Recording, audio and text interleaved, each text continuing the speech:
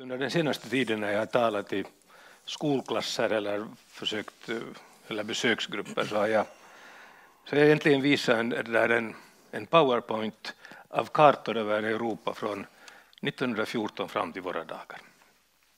Och den här kartövningen är egentligen alldeles oerhört intressant av den orsaken att den visar att Europa under de här drygt hundra åren har genomgått och genomgår djupa och genomgripande ibland våldsamma och förskräckliga förändringar. Och vårt problem, och det här är den filosofiska delen, vårt problem är det att vårt tidsperspektiv för det mesta är jättekort. Och det tenderar um, i Twitter-tider till, till att bli ännu kortare. Om vi tar som exempel en känd twittrare i Förenta Staterna så misstänker jag att hans tidsperspektiv ungefär är 15 minuter i bästa fall.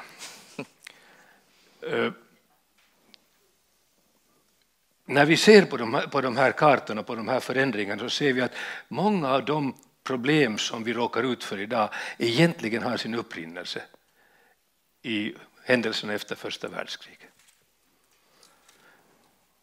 Nästan alla konflikter hänger på något sätt ihop med den förändring som då genomfördes, när fyra kejsardömen föll samman.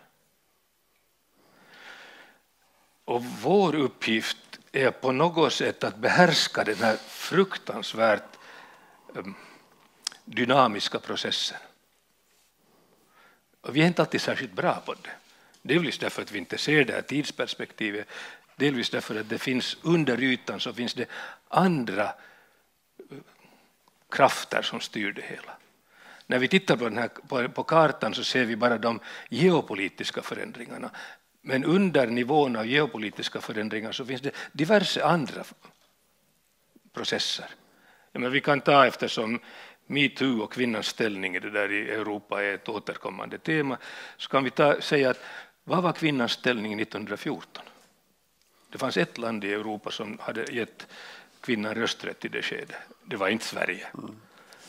Det, där, och det var inte Storbritannien och det var inte Frankrike, det, utan det var, råkade vara Finland som under underliga omständigheter gjorde det här steget. Samtidigt under hela den här hundraårsperioden så har vi oerhört snabba teknologiska förändringar som också så att säga bryter upp de här geopolitiska mönstren. Vi har ideologiska förändringar jag menar den ideologi som kunde växa fram i protest mot ett gammalt auktoritärt samhälle i början av 1900-talet visade sig kanske inte hållbar sen i det där, vare sig efter ryska, den ryska revolutionen eller, eller andra revolutioner.